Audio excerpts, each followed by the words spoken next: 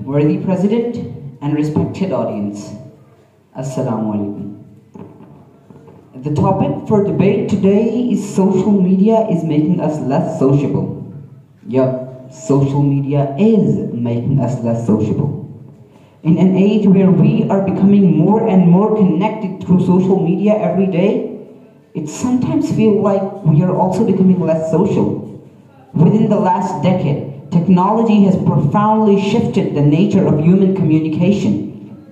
Dear audience, by following friends on social media and not communicating with them privately, we can only know the things they post on their accounts. We may not know much about what is really happening in their lives. That means we will have no meaningful connections with friends. The convenience of contacting people online made us prefer it over meeting them outside. A few people now have social anxiety due to not having enough face-to-face interactions. When we avoid talking to people for a long time, automatically we develop a fear to involve in small talk. Dear audience, trolling in social media is a big menace. It is affecting the ability it is affecting the self-esteem of many people and is also making them avoid social connections. In the present time, several people, several people are addicted to smartphones and especially social media. This leaves them with no time to interact with people in real life. Even when they are speaking with people face to face, they are constantly getting distracted by their phones and are not concentrating on the conversation.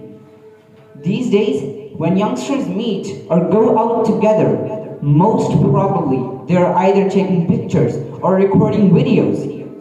This is affecting their ability to maintain social connections. In the book iGen, it was mentioned that in the next decade, we may see more young people who know just the right emoji for a situation, but not the right facial expression. This can become true if we prefer virtual life over real life. Greater use of internet was associated with declines in participants' communication with the members in the household, declines in the size of their social circle, and increase in their depression and loneliness. Results show that excessive and unhealthy use of internet would increase feelings of loneliness over time. Last but not the least, social media has positive as well as negative aspects. It completely depends on how we use social media. If we use it properly, we can join close communities based on shared interests. There is a need to guide the adolescents about the effect of social media on our social lives.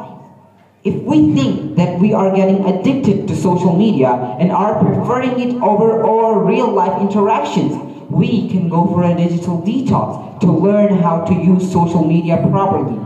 So we can safely declare that social media is making us less sociable. Thank you.